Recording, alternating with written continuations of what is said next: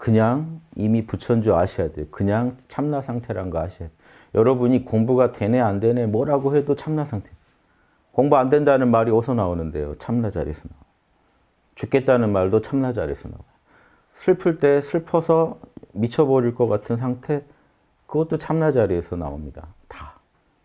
그러니까 이걸 아는 게 법공이거든요. 만법이 다 이렇게 결국 이게 여기가 공짜리고요.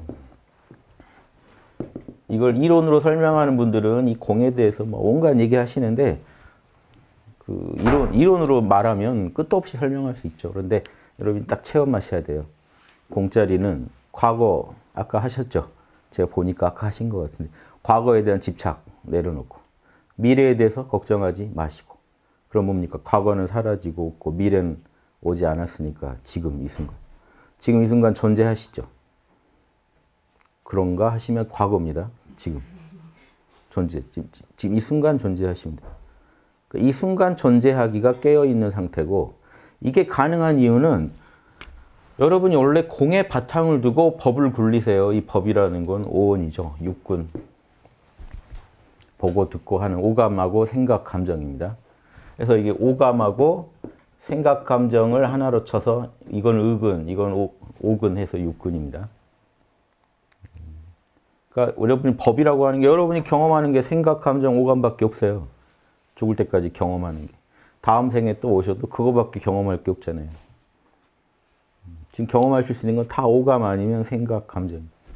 생각에도 더 미세한 생각, 거친 생각이 있지만 결국은 어떤 분별입니다. 예, 따지는 거죠. 따지는 거. 에고도 생각이에요. 남하고 난 다르다라고 생각하고. 나의 동일성은 계속 유지된다라고 생각하고 있고. 그게 무의식적으로 생각하고 있어서 여러분이 에고 의식을 이제 무의식, 칠식이다 이렇게 해서 유식하게 해서 더 깊이 심층 의식으로 보는데 결국 그것도 미세한 생각이에요. 내가 저 속으로 따지고 있는 거예요. 나와 남은 다르다. 명심하고 계신 거예요, 늘. 나는, 나는 늘 이렇게 유지돼야 한다. 내가 가장 중하다. 이 생각을 계속 하고 계세요. 무의식상에서. 그게 칠식이라고 하는 게 하는 짓입니다. 그 에고도 생각이에요. 그러니까 생각, 감정, 오감 빼고는 참나밖에 없죠. 그러니까 이런 모든 법들이 본래 공에서 나왔다 하는데 그럼 둘이 여기서 이게 나왔단 말이냐라고 이해하시면 안 되는 게 차원이 다른 세계입니다. 이건 시공이 있는 세계고 이건 시공 없는 세계예요. 지금 이 순간에 딱 집중하시면 거긴 시간도 공간도 안 느껴지고 존재만 있습니다. 차원이 달라요. 거기서 생각이 하나가 이제 굴러가면은 시공 안에 들어와요. 생각이 하나가 굴러가면 시간의 흐름이 느껴지고 공간 여기저기 동서남북이 느껴지고 나와 남이 찢어져 있습니다. 그러니까 만법이 공에서 나왔으니까 법공이다 이렇게 아는 거죠. 그런데 이 공이 여러분이 노력해서 만들어내는 게 아니고 명상을 해서 만들어내는 게 아닙니다. 원래 있는 거예요. 원래 여러분은 무슨 짓을 해도 이 육근을 가지고 뭔 짓을 해도 공을 공에서 다 이게 놔둬서 일어나는 일이지 여러분이 뭘 만들어내는 게 아니에요.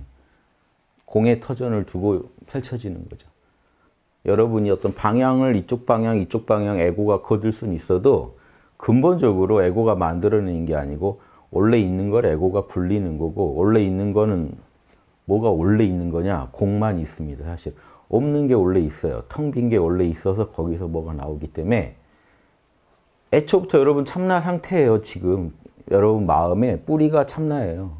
여러분이 뭐 그 참나를 안다 모른다 뭐라고 하시건 간에 그러니까 걱정하지 마시고 그냥 쉬시면 참나가 드러나요. 그러니까 참나를 안 찾으면 참나가 드러나죠 오히려. 참나를 안 찾는다는 게 뭐 망상을 부린다는 게 아니고요. 참나조차도 안 찾고 계시면 그 상태가 제일 깨끗하게 참나가 드러난다고 드러나는 상태라는 거죠.